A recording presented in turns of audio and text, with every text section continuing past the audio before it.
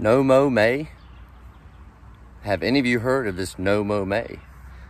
Do you want your yard to look like this? Do you want your property to go crazy? No, you don't. All right, look, enough of the nonsense, the no mow May stuff. I'm going to show you how you, as a homeowner, can still have your environmental health and help the environment. And us that are the upkeepers of your properties won't have to suffer cutting grass June 1st. That is up to our necks. All right. I'm going to help everybody out today in this video. Stick around and you'll find out I got the answer to this no mow May stuff. Why am I making this video right now? Well, obviously, it's May 2nd, and I've had a few community members here throw in some comments asking how to address this with your clients. I'm going to talk to y'all while we watch this footage.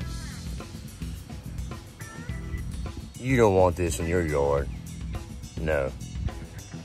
I know what you need, and it's going to help the environment nine months out of the year. Let's do this video, guys. All right, homeowners. I've got the answer solution for you here in a couple minutes through the video.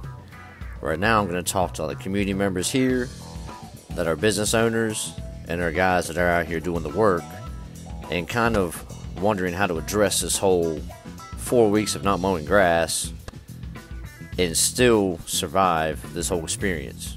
Because we're here to make our clients, you, the customers, happy.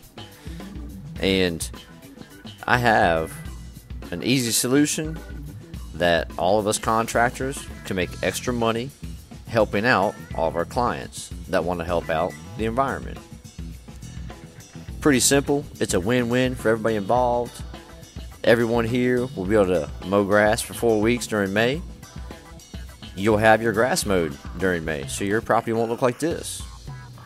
And in the long run, you're going to see that the solution I have is a hundred times better in a whole bigger scheme picture of life.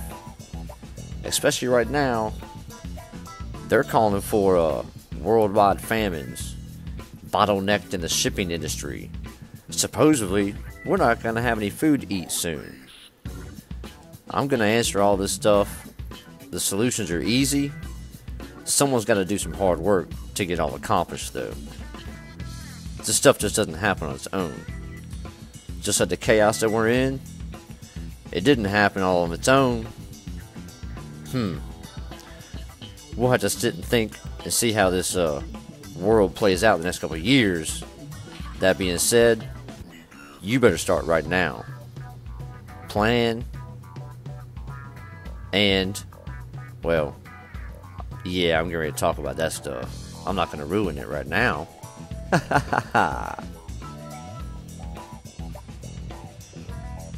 Poison ivy all in that area.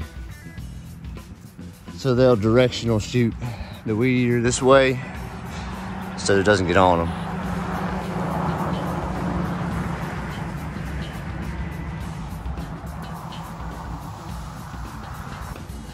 So ask yourself this Do you really want to grab the chainsaw after four weeks of no mow May?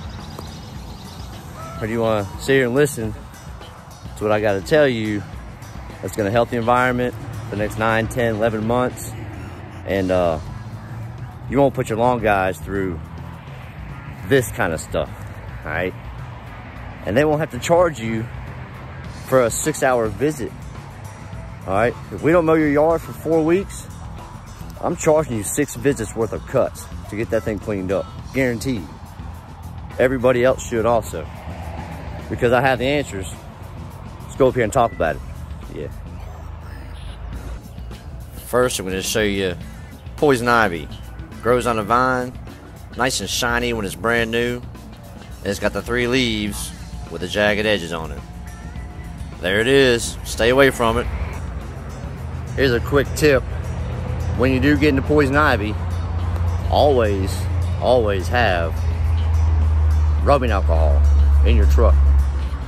Get rubbing alcohol, squeegee all over your legs, your arms, whatever got into it, wipe it off, evaporates those harsh, nasty oils that are in that poison ivy vine leaves. All right. My tip of the day. I'm gonna go put some on my legs right now. I was already walking through it before I saw it. So we'll continue on. Quick little tip: poison ivy, rubbing alcohol. Have it in your truck. Now you don't have to take my advice, but uh, don't come crying to me in the comments when you're all blistered and swelled up from poison ivy.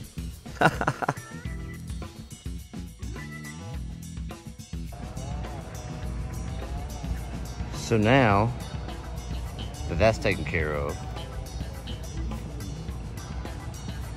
I have an area down there and an area up here. Both of these areas perfect place for raised garden beds or down below a fenced in garden area. Makes more sense to me if I plant a garden this year and not do the no mow May. I'm gonna benefit the earth, the planet, the bees, the butterflies, everything for nine, ten months. And then in the off season, my plant, my compost will rejuvenate the soil as well. Think about that. Raised beds, gardens. This is the year you need to start planning because of all the chaos in the rest of the world. Make sure your bubble is taken care of, eating healthy food. Hey, no mow May? Come on, really? Raised beds, garden areas, vegetables for your family to eat. That's the answer. Mother's Day is coming up. Two years ago, this is what I did for the mother of our household, my soulmate. Went and spent a couple hundred dollars, six tons of compost, a couple boards, and a whole lot of beautiful plants. Guys, if your clients can't get out here and do it themselves, sell them this project right here. Sell them a lifelong change of good habits of food. It's a win win, guys. I hope y'all enjoyed this video. Y'all be good, love each other, always be kind. Peace.